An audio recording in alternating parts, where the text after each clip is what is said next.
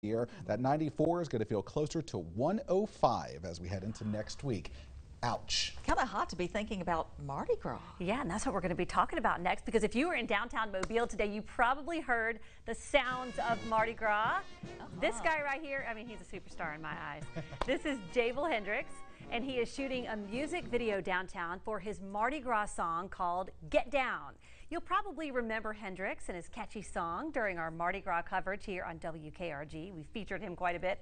Well, today he filmed part of the video along Dauphin Street with a brass band and some young local dancers. They were great. He says the song is meant to get people out of their seats. This song is putting Mardi Gras Mobile on the map, where the birthplace of Mobile is. So this song is getting people out of their seats, making people dance, making people get together. Total strangers getting in the same room, getting together. I'm loving it.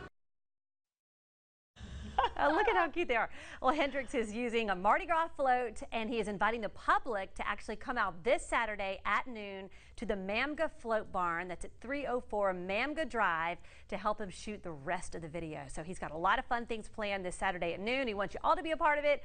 So come on out and get down. Yeah, yeah and you could uh, show him some of your moves and maybe join his band. I mean, you're kind of an experienced musician. That, that that's a that's a hidden talent. I got to see if I can pull that out of the out of the bottom of the bag. Yeah. No, but it's a lot. I mean, you've heard you featured the song and we've heard it's it. it's quite song. catchy if you haven't heard it. Yes, and he has a get down dance that he wants everyone to learn. So that's going to be all a part of this. And it's fun to see him doing so well for sure.